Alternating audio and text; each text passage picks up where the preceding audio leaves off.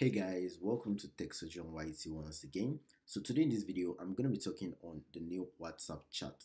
Now, if you haven't subscribed to the channel, please hit that subscribe button right now and make sure to tap on the bell icon so that you get notifications so whenever a new video is uploaded on this channel. So basically, just about five minutes ago, WhatsApp just released a new feature called the WhatsApp chat. I mean, it's not really a feature, but it's basically just a new chat box for WhatsApp on WhatsApp. So basically on WhatsApp's page, they just talked about the release, like I said, about five minutes ago. And then I'm just going to be opening the message right here so that you guys can check out the message. And then I'm going to be telling you guys what the WhatsApp chat is all about.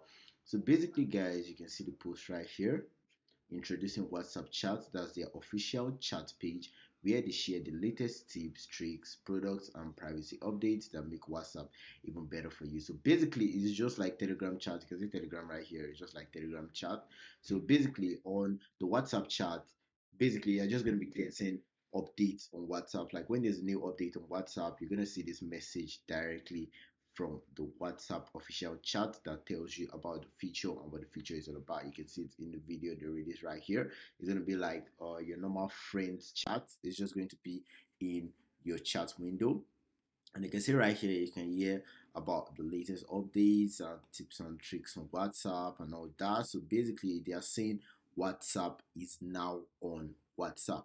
So basically, it's not like a very big feature because I mean, a lot of the big social media platforms already have this, like Telegram that I opened right here, and then Snapchat also has their own chat box on Snapchat themselves. So basically, from here, you'll be able to get like the latest news that is going on on WhatsApp directly on the WhatsApp chat box. And a lot of people have been talking about it already. I don't think it's something that is very big, but then I mean it's WhatsApp, so a lot of people are going to be talking about. You can see WA beta info right here.